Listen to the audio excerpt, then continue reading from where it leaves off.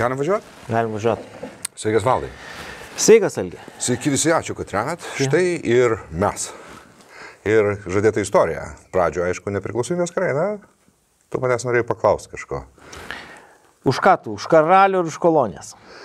Aš intuityviai už karalių, nes karalius pareina nuo Dievo. Bet turint omeny, į ką išsivystė kolonijas, tai aš esu už kolonijas. Ar geras atsakymas? Išsivinioja kaip politikas. Taip. Taip. Nu, mes prieš laidą pasiruošėm. o tu, valdai. Tu žinai, turbūt atsakymas būtų panašus kaip tavo. Šito nesiruošėm. Aha. Bet, e, bet man atrodo, kad vis tik tai aš vis tiek likčiau prie karaliaus, žinok, po daug, daug laiko mhm. kažkaip aš manau, kad vis tik stabilesnis reikalas ta karalystė, žinai. Nes kolonijos yra viskas gerai, žinai, bet, bet vis tik tai matyt aš iš Europos, žinok. Mhm. Kažkas tokio tame yra, žinai. Bet tik viskas priklauso tada nuo karaliaus. Tai va, o žinai, įdomiausias dalykas, kad kada pasidomi dalykais truputėlį giliau, tai supranti, kad konfliktas iš esmės, apie kurį mes įsivaizduojam, kad yra kažkokios tai kolonijos atskilo nuo metropolijos, bet iš tikrųjų pagrindinis konfliktas buvo visai ne ten, žinai. Na kur? Prancūzo, e, britų konfliktas. Okay. Esminis dalykas, žinai. Ir, ir vat, e, šiandien mes vis tiek daugiausiai kalbėsim apie nepriklausomybės karą, žinai, tai jo šaknis glūdi nu, ankstesniuose konfliktuose ir visų pirma septyniarių metų kare, žinai, o septyniarių metų karas glūdi iš esmės Prancūzijos ir Didžiosios Britanijos varžybose, mhm. kasgi jie yra stipresni. Tai, va, tai šito konflikto truputėlį genezės vis tiek reikia suprasti. Tai e, Liudikas XIV pakėlė tą Prancūziją iš pakankamai liūdnos padėties, iš pilietinių karų ten ir visokių frontų ir taip toliau. Na ir e, natūralu, kad turėdamas tokius gerus patarėjus, jisai, reiškia, pradeda kurti Prancūzijos kolonijų sistemą. Na nu, ir tas savaime, aišku, kertasi visiškai su Niderlandų ir su, ir su Britų reikalais, žinai, ir jie ten pradeda varžytis. E, paskui vyksta, žinai, Ispanijos įpėdinystės karas. Ispanijos įpėdinystės kar, kare iš esmės Britanija yra vienoje pusėje, prancūzai kitoje pusėje, žinai, ir taip gavosi, kad tas konfliktas, kuris būdavo visą laiką tarp Vokietijos ir Prancūzijos, nu, arba šiuo atveju tarp imperijos ir Prancūzijos, jau kažkurį vietoj peraugo į tą konfliktą tarp, tarp Didžiosios Britanijos ir Prancūzijos. Mhm. Ir šitas karas, jisai išvirto visiškai konkretų įvykį, tai yra iš 7 metų karą, kuris vyko ir Europai, čia tarp kitko visai Lietuvos teritorijai, Klaipėdos krašte jisai vyko, žinai. Bet jisai, apie jį tarp kitko mes beveik nieko ne, ne, nešnekam, žinai, tarsi jo nebūtų, nors vyko ir, ir tarp kitko rusų bazė buvo Kaune. Mhm. Taip įdomiai, žinai. Bet jisai vyko ir Šiaurės Amerikoje. Ir tas karas, jisai tenai gavo tokią visai rimtą pobūdį ir, žinai, ten turėjo keletą tokių nepagrindinių linijų, kurios mūsų šitam konfliktui bus labai svarbios. Konfliktas tarp Britanijos ir Prancūzijos vyko iš esmės dėl Kanados, dėl kon konkretaus dalyko ir šiek tiek dėl Luzianos, žinai, ten, ten kur, yra, kur, kur Mississippi įteka į, į Karibų jūrą. Tai va, bet, bet ten būtent svarbiausias konfliktas buvo čia tarp Kanados, Junktinių Amerikos valstijų pasienyje, tarp Prancūzijos ir Anglijos kolonijų. Ir nu, priežastis labai paprasta. Britai buvo stipresni, turėjo stiprius kolonistus, žinai, prancūzai buvo silpnoji pusė. Ir, nu, kaip jie ten įsitvirtinę iš esmės visai nedėliai teritorijų, buvo ten, kur dabar yra prancūziškoji Kanada. Bet teritorijos, jeigu žiūrėt ant žemėlapio, jos gana didelės, žinai, bet ten nelabai įsisavintos.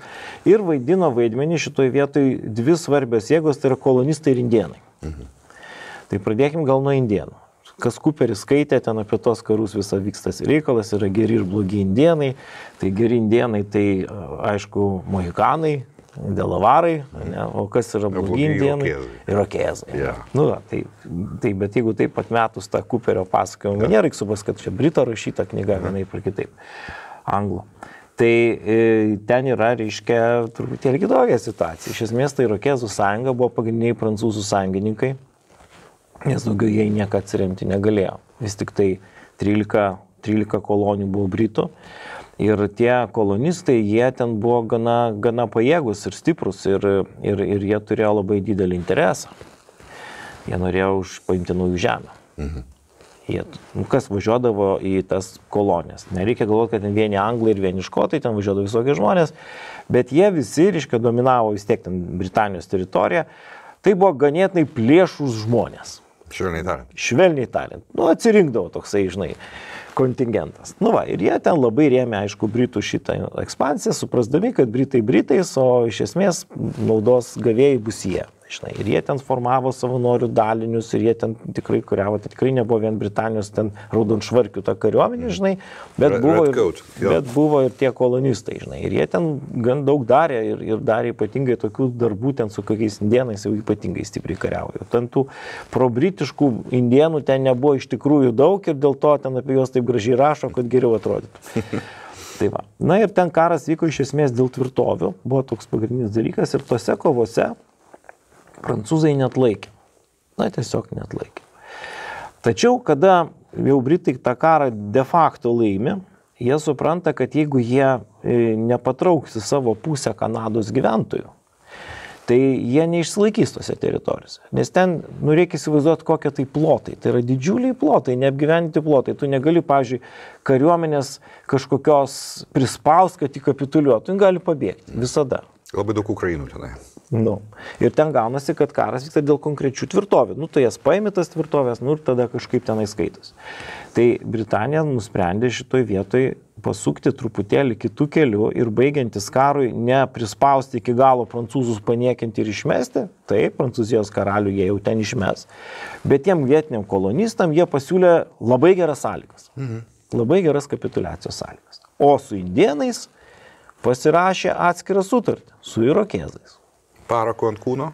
Nu, ta Tikėtina. prasme, žinok, rimtai tam pasirašė ir su visokiom garantijom ir, ir žinai, ir, ir, ir, ir to Jameso trečiojo vardu, reiškia, jie tenai visai rimtai atstovavo su indienų vadais, kad vienu žodžiu ir, ir tiems indienams, kurie kariavo vienoje pusėje ir kitoje, garantavo tam tikras sienas, žinai, kad karalius jau čia pasižiūrės, kad kolonistai toliau neitų. Parakas ant kūno čia buvo mano metafora dėl tatuiruotės, nes irokezai ir jie galėjo pasirašyti raštu, nebent tu ten padarai tatuiruotę jiems karūną. Ne, jie matai, jie turi ten tas procedūras, jie ten susėda, jie ten surūko taikos pypkės, ta prasme, viskas ten yra tvarko ir, ir tarp kitko, anglai labai elgėsi gražiai. Mhm. Bendrai paėmus labai gražiai ir tiek sėkmingai, kad gavosi taip, kad Kanados teisės ir laisvės tapo aukštesnis negu kolonistų, mhm. Kurie kariavo už anglus. Nu, už britus. Nu, žinai, ir jie liko didžiai nepatenkinti. Ne tik tai dėl to, kad anie gavo daugiau teisų negu jie, bet ir dėl to, kad nubrėžė tas linijas. Palak. O dėl ko jie čia atkeliavo? Jie atkeliavo, kad užimti naujas žemės, tenai važiuoti su tais vežimais ir įsikurti.